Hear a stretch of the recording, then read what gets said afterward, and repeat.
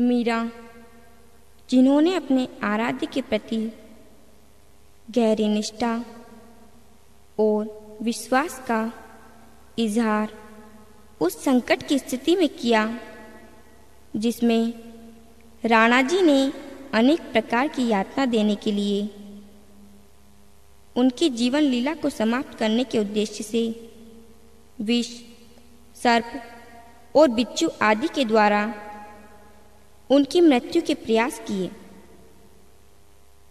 परंतु मीरा ने सच्चे आराध्य के प्रति अपने आप के समर्पण की वजह से देखिए किस तरह से सहाय हुई। इसी बात को मीरा ने इस तरह से कहा है।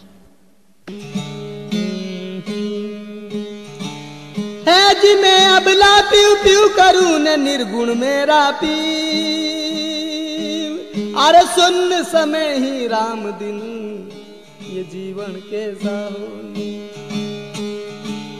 तो पीऊ का मार्ग कठिन है, न जैसे रंग चिको अरे नाक निक से बापरी, ये घूंघट कैसा हो